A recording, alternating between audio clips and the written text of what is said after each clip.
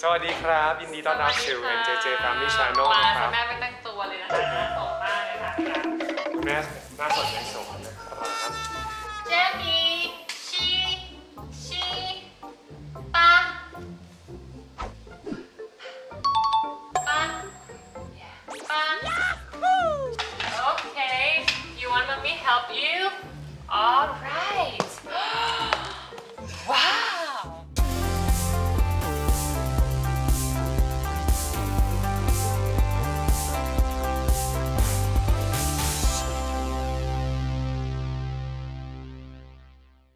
ก็ในคลิปนี้เนะครับอยากจะพาเพื่อนๆมาดูวิธีการเอาหลักการ Montessori มาประยุกต์ใช้ในการสอนจริงๆ ว่าการที่หลักการของการให้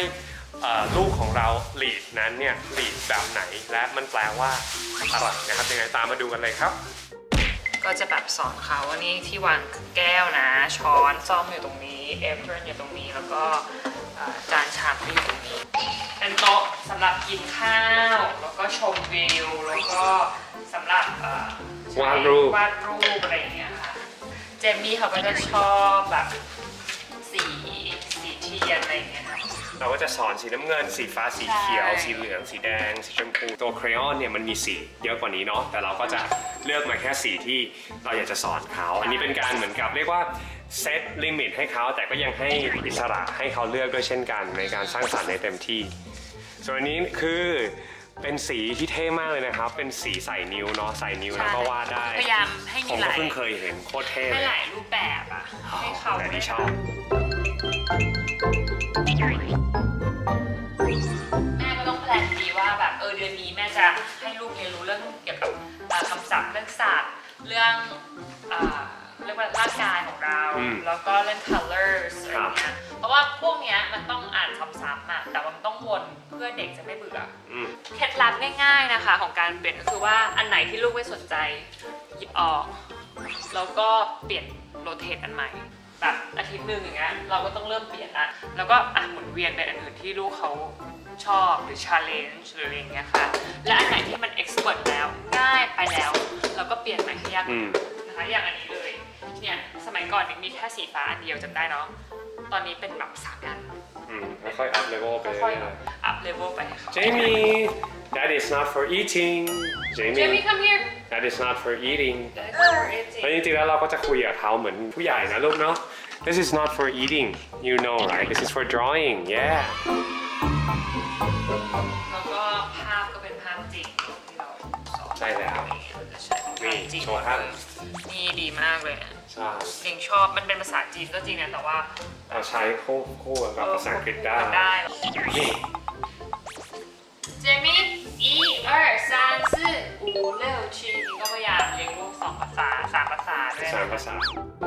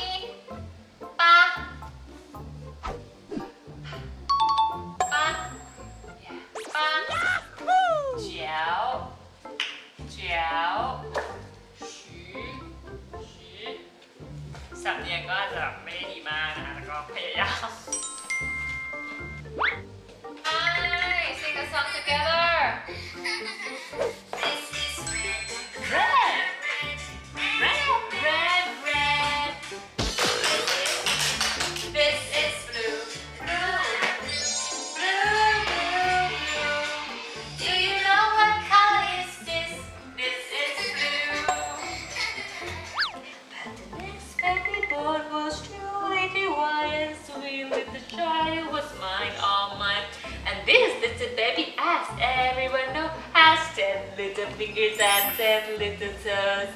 Whoop.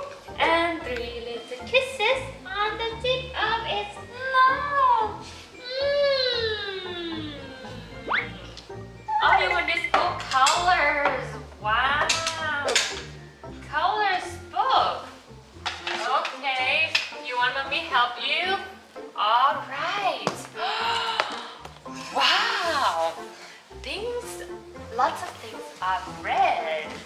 Tomato, belly, toy car, drums, ladybird, teacher, raspberry, four, three, two. Woo! Matching pair. Whoop, whoop, whoop, whoop, whoop. อืม